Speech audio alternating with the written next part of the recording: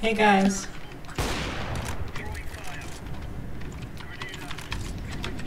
I just wanted to show off this um, chrome cannon. Isn't it cool? It's actually his.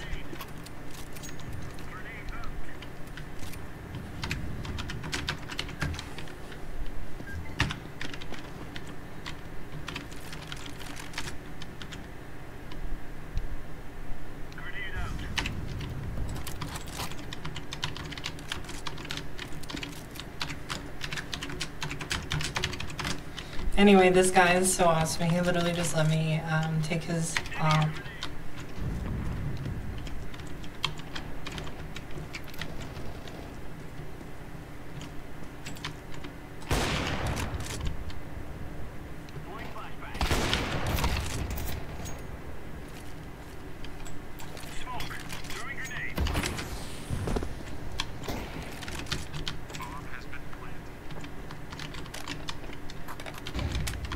Gosh, this must be the coolest AWP I've ever seen.